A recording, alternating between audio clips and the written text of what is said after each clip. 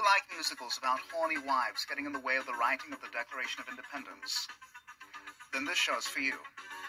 As a product of Knight Industries 2000, it is with great pleasure to introduce to you 1776, now playing at the Simi Valley Cultural Arts Center down in, where else?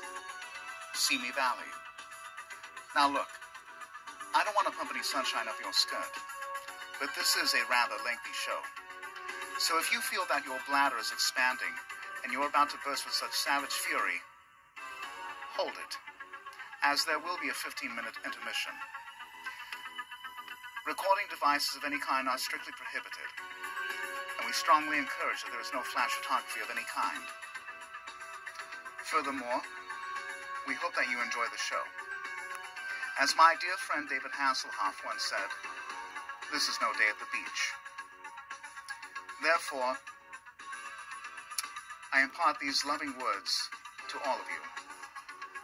Try, dream, do good. I love you all.